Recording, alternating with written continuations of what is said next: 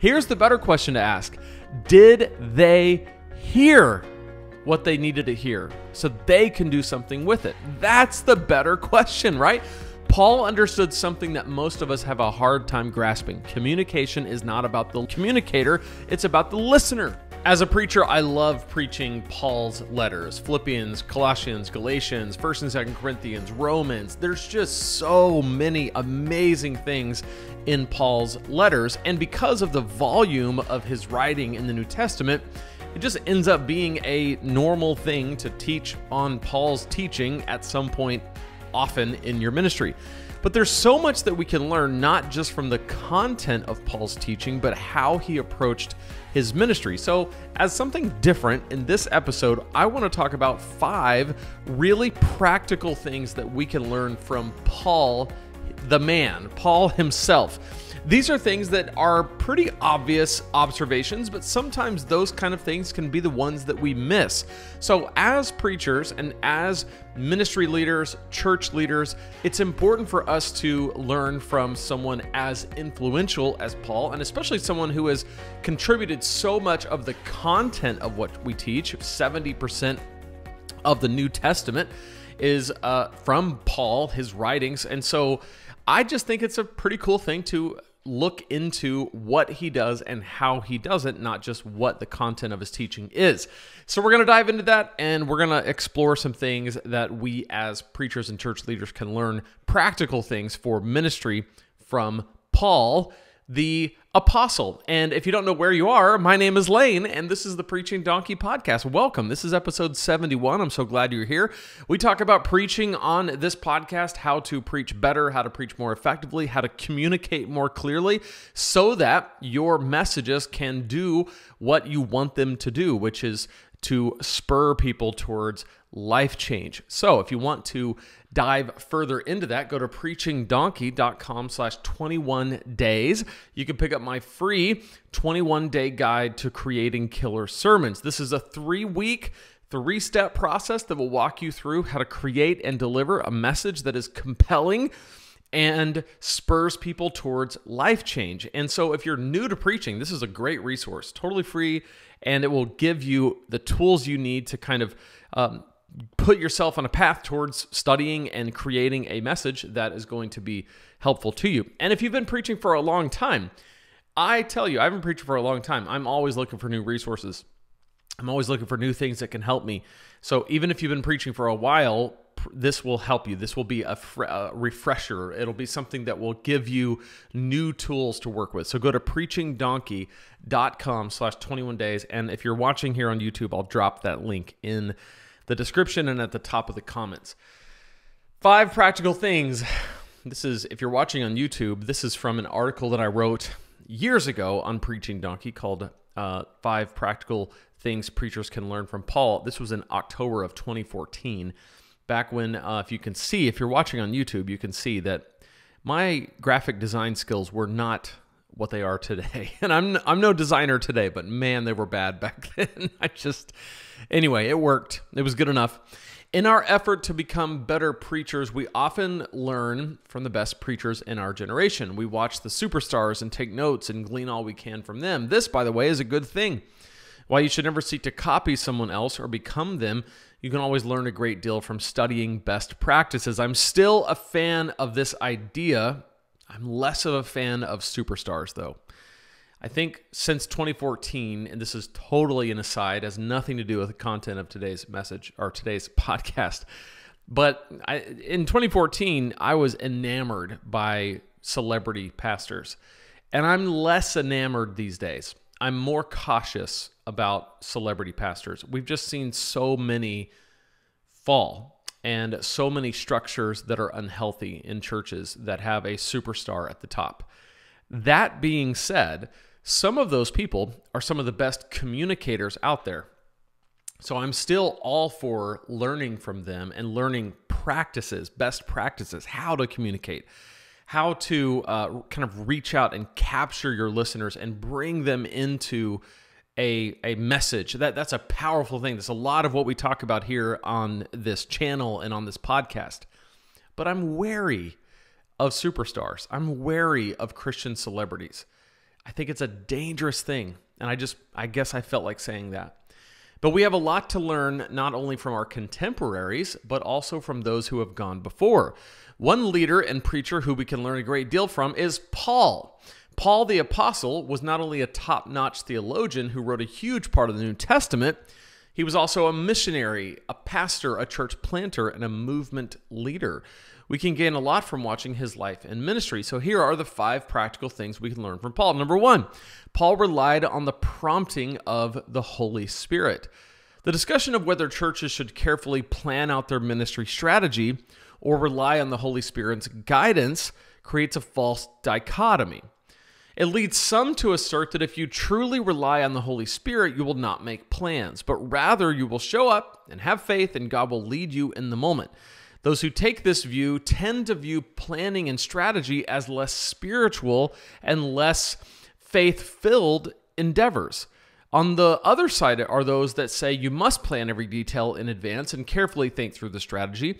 These people sometimes believe that those who fail to plan are not being responsible to their calling. So, this is a false dichotomy. Those of us who wish to take part in God's mission should absolutely do both planning and relying on the Holy Spirit. And this really is my contention here is that there are those who would say, you know, if you work on your craft as a preacher, if you seek to be better, if you seek to communicate more clearly, this must mean that you are no longer relying on and dependent upon the Holy Spirit and His guidance.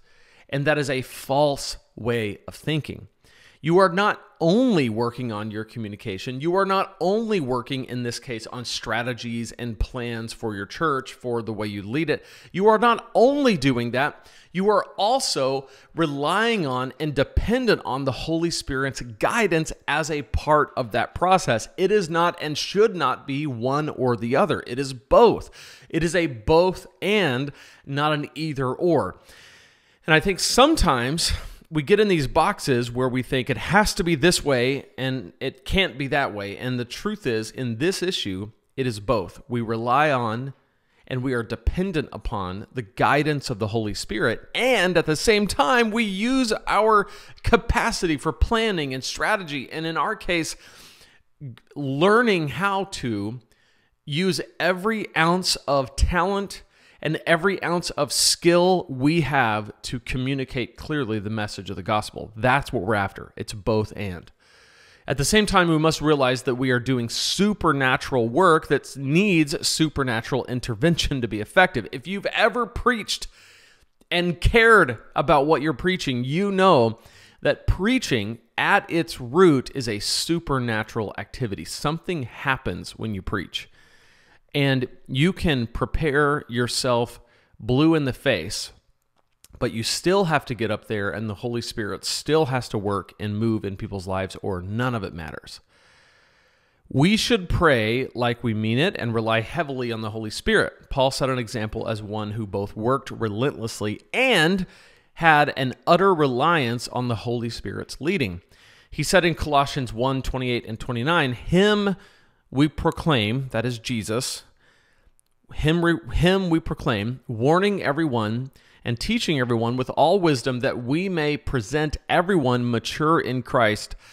Verse 29, he says, For this I toil, struggling with all his energy that he powerfully works within me.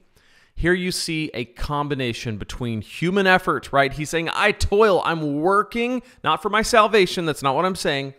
I'm working on behalf of these people to show them Jesus, to show them who he is, to proclaim the gospel to them. For this, I toil, I struggle with all my energy? No, with all his energy that he works within me. So it is a combination. We rely on the Holy Spirit we walk in his steps, and at the same time, we put forth all the effort we can, exhausting every natural piece of talent God has given us, and then some. And together, these things go together. So Paul relied on the prompting of the Holy Spirit, and and he was a guy who worked to make sure that he was bringing it to the table. So what can we learn from this? This first thing. Our preaching must always be a result of both relentless work and dedicated prayer. That's the takeaway. It must always be a result of both relentless work. Relentless work, meaning that this is a skill, it is an endeavor that cannot and should not ever be exhausted. You should never, as a preacher, get to the point where you just kind of sit back and go, huh, I've learned everything I'm supposed to learn. I know everything I'm supposed to know. Those preachers, you can tell when they get to that point, they stop.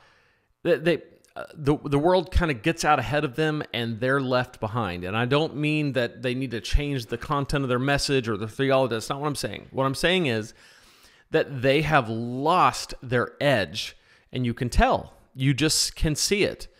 You can feel it. It takes relentless work to continue to be a person who God uses to capture and maintain people's attention so that they can hear the word of Christ and do something with it. So that's relentless work and it's also dedicated prayer. It's also praying that God would, in his power, do something through you and in you to affect change on these people that are sitting in front of you. So Paul did both, but he relied on the prompting of the Holy Spirit. And I love that. Number two, Paul was into forming churches, not just converts. He always focused on forming gospel communities that form gospel communities. The gospel moves forward through a local church. No one is converted to remain an island, but rather to connect in community in a church body. Our preaching is one of the best tools we have to build up the body of Christ by leading people into community. So, Paul wasn't just about getting people to make a decision. Paul was about making disciples. He was about making disciples who made disciples. And you can see this when he would write letters, not to individuals as much. He did that a little bit. He wrote a letter to Timothy, uh, but he would write letters to churches mostly. He would write letters to the church at Corinth. He would write letter, a letter to the church, churches in Galatia. Why? Because he was into forming churches, not just converts, because he understood that conversion on the individual level happens best in the context of community, where people, a body of believers, have together decided to form a, a body that is made up of people who are following Jesus and who want to live in his way. So Paul was into churches. What's the takeaway for us? Well, be be about getting people to not just experience an individual uh, experience with Jesus that they never share with anybody, but be about showing people how to multiply their faith. What does it look like to live in such a way that you are multiplying your faith and bringing more people into the community? Now, I said this was obvious. These are not things that you haven't heard about. These are not things that you haven't taught about. You've probably taught about this, but it's really, really refreshing for us to remind ourselves of, of what example we see in the New Testament. Number three, Paul adapted his messages to his listeners. Without, every, without ever compromising the truth of the gospel, Paul was winsomely in tune with the culture. He sought to be all things to all people. We see that in 1 Corinthians 9 22 and 23, so that he might reach as many people as possible with the gospel. This is a practice we must adapt as preachers. A lot of preachers focus on the content, asking themselves, Did I say all the words that I need to say? So you get through with the message, you think this is especially true if you're a new preacher. I used to obsess over every word. I would think about the words I was going to say. I would think about, I would rehearse. I would focus on, oh, I've got to say it in this way because this is going to be the most powerful way to say this thing. And I'd finish a message and I would sit down and I would go, oh gosh, did I did I did I say everything exactly how it's supposed to be said? Did I leave anything out? And I would just obsess over it. And what I found is that the better question to ask focuses more on the listener and less on me. Here's the better question to ask Did they hear what they needed to hear so they can do something with it? That's the better question, right? Paul understood something that most of us have a hard time grasping. Communication is not about the communicator, it's about the listener. Communication is about the end result. Did they hear something they can apply that will change their life? If you preach in a way that makes sense to you at the expense of your listeners, you have not done your job as a preacher. If you preach to win the approval of your seminary profs, then you can be sure that most of your listeners probably aren't tracking. Be willing to communicate in a way that is accessible to everyone in your audience. This is something Paul did very well. If he was talking to the religious elite, he would speak like an, a religious elite. If he was talking to political leaders, he would speak in terms of civic and political issues. If he was speaking to common people, he would use common language. Paul was willing to adjust not the content of his message, but the way he communicated the most important message that he had, which was the gospel of Jesus. Number four, Paul focused on his focused his message on Jesus. We talk about a lot of stuff. We could stand to talk about Jesus more than all the other things we talk about. Paul was hyper focused on Jesus. His life was personally changed by him, and he wanted others to know Christ and him crucified. Paul even talked at one point about, he said, You know, I've heard and you've talked about there's people that are preaching Christ uh, because of vain conceit. They're preaching Christ out of selfishness or their own ambition. But nevertheless, I rejoice because Christ is preached. Paul's focus. Now that doesn't mean that we we ought to just be corrupt and as long as we're preaching Christ everything's fine. That's not what I'm saying. But what I'm saying is, Price, Paul was so hyper focused on preaching Christ and Him crucified, he would take the W even if it was coming out of the mouth of someone who was only doing it for selfish gain because he wanted Christ preached. So the takeaway there is is our message focused on Jesus? Is Jesus the hero of our message? Is he the one who we point people to to show that it can be done. Because here's the thing a lot of preaching can just, a, a lot of preaching could just be motivational speaking. A lot of preaching could just be here's how to have a better life, here's how to have a better marriage, here's how to uh, be a better parent, here's how to live with less stress and anxiety. All of that could literally just be motivational speaking, and it could be completely absent the gospel if you don't show people that the only way to live this way, the only way to have that kind of life, the only way to actually live in freedom is if Jesus enables you to do that. If you are surrendered to Him and you are in Christ and He is empowering you to live this way through His Spirit, that's the only way to do it. And so when our messages don't focus on Jesus and it's just here's how to be a better Christian, here's how to live more morally, here's how to be a better husband, and it's absent any enabling power of the Holy Spirit or any reliance on Jesus and Him crucified, well, guess what?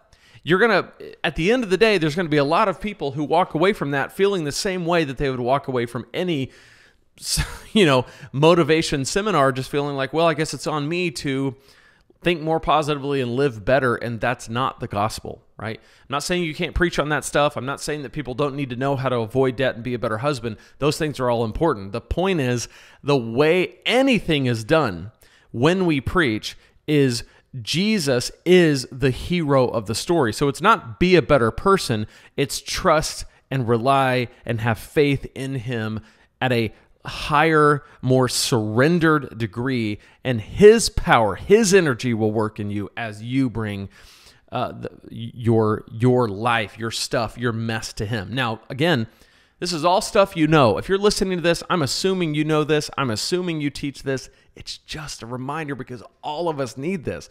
Number five, Paul worked in teams. Paul models something incredibly important to ministry success partnership. He refers often to co laborers in the gospel. He was not alone, and neither should we try to do the work of ministry alone. I think prep and planning that goes into preaching is best done in teams. I'm going to talk about this in a later episode. I talk about this in my course and in my book, the course uh, Killer Sermons Academy. You can find that at preachingdonkey.com slash courses. But I think some of the best ways to make a message and a, the, one of the best ways to do what we just talked about relying on the Holy Spirit, forming churches, not just converts, adapting your message to your listeners, focusing everything on Jesus is to work in a team to do it because these are all things that we miss. And sometimes even if we think we're doing it well, we'll still miss it. But in a team, you can avoid some of the common pitfalls and you can enhance some of the strengths of all these things that we talked about. So, again, we'll talk about that in a later episode, or you can check out Killer Sermons Academy over at preachingdonkey.com slash courses.